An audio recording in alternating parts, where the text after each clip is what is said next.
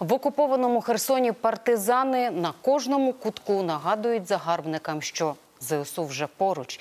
Листівки із закликами полишити окуповані території розвішані всюди і на зупинках транспорту, і на стовпах, і на під'їздах. Активістів нескореного міста росіяни затримують, катують та намагаються схилити на свій бік. Херсонки Оксана та Ольга два місяці прожили в окупації, брали участь у проукраїнських мітингах та волонтерили. Та через загрозу затримання їм довелося переховуватися від російських окупантів, і врешті вони виїхали. Сьогодні живуть у Франківську. кажуть, ті, хто залишився в Херсоні, не підтримують проросійської влади. Почали фактично перевіряти двори, стукати людям у вікна. А я весь цей час стояла і дивилася, боялася поворухнутися, бо я не знала, як вони відреагують на це.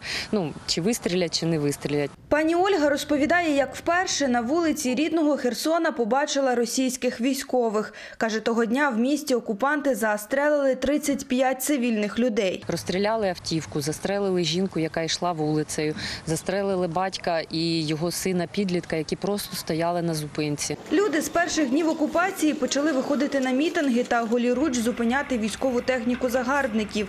Ті просто скаженіли, коли бачили, що тут їх з квітами ніхто не зустрічає. Просто працівник театру, просто проукраїнський активіст. Вони вийшли на площу, їх було декілька людей, і вони забрали у окупантів наші прапори. І це було так, розумієте, е, ну дуже сміливо, тому що всі були озброєні окупанти, а наші хлопці вони були без зброї. На перший протест вийшли сотні людей. Ольга з подругою Оксаною теж були серед них.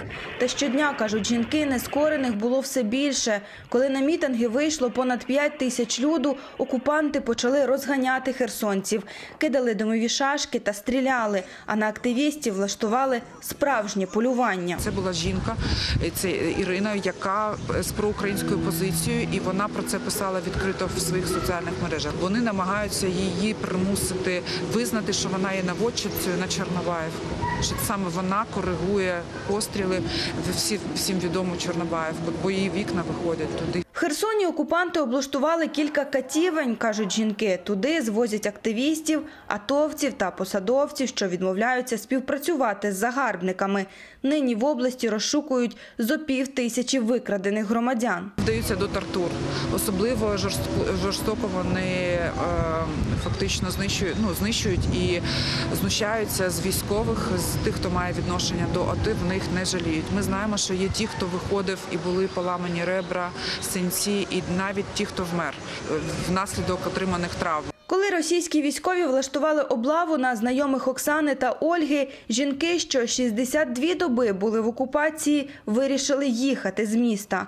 Вони подолали кілька десятків ворожих блокпостів і дісталися до Івано-Франківська. Жінки кажуть, людей, які бажають виїхати, дуже багато, але місто заблоковане. Евакуаційні колони розстрілюють. Я виїхала, тому що в мене є авто.